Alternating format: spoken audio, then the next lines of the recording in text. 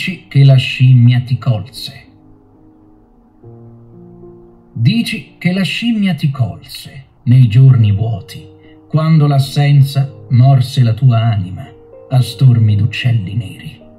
Fu allora che, complice una maldestra iniziazione, tu dici delegasti alla Gania il mandato dei tuoi sogni, perché l'abbondanza inquieta delle tue notti insonni, fervida, intonasse l'assolo del tuo dispetto al mondo. Mancai, tu dici, a testimoniarti la via di giorni normali.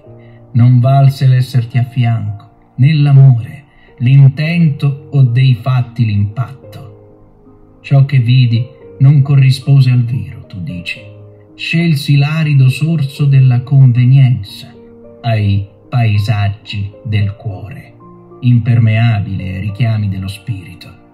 Tu abitasti le torri che il fato ti impose, a tratti memore, altre inerpicato ai territori del cielo. Sfoggiasti familiarità iperuraniche al mercato della trattativa, perso nella rivoluzione degli specchi, vomitasti un sole indigesto che incitava il capochino e una comprensione impervia.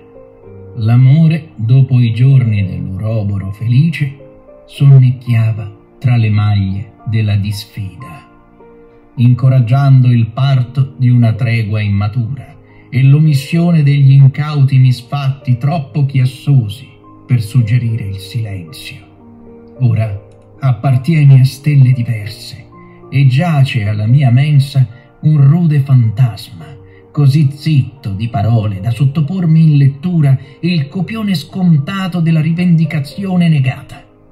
Hai voluto essere pagato con monete che non posseggo, ma i messaggi che hai smesso di esplicare intonano strofe sferzanti, il galoppo di varcate soglie e la quiete che ti sorride celesti sfere oltre all'umanità di paterno amore. Possa l'ardore di un fuoco intatto divampare il raccolto di messi feconde. Possa la narrazione impavida della tua anima recitare i tuoi passi in vita e condurre il vascello dei tuoi sogni da sveglio al porto sicuro della realizzazione.